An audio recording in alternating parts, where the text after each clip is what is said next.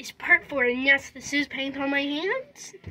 So sorry, I had to eat dinner, and like, I don't, I was gonna edit this video, but I don't know how to, because I just literally just went like, ow.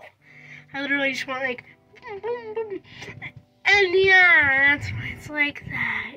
So, yeah, that's probably gonna be the last couple videos I'm doing. Ooh, that's a hair. Ah, I can't get it. so, yeah, this is part four. Monkey noodles. Yes, if your kid's not gonna do this with it.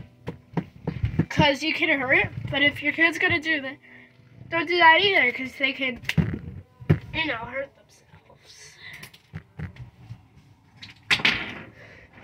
So, that's a baby.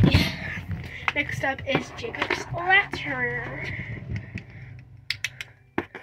I would say maybe, yeah.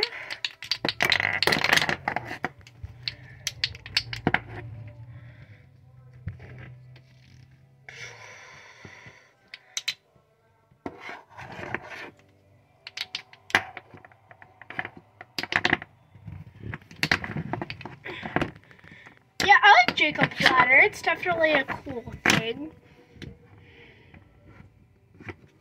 And luckily that I did buy this. I bought this a long time ago, actually. But yeah, this is definitely a yes. Not for tellers, obviously. Now, cheap fidget spinners, such as ball spinner, fidget spinners, this was a cheap one, so I'll say no. But to like a kid, yeah. Not a baby. So like ball fidget spinners or just fidget spinners in general. Yeah.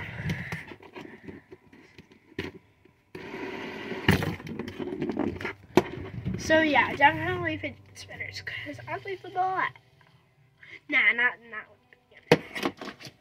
So that's all for this video or series.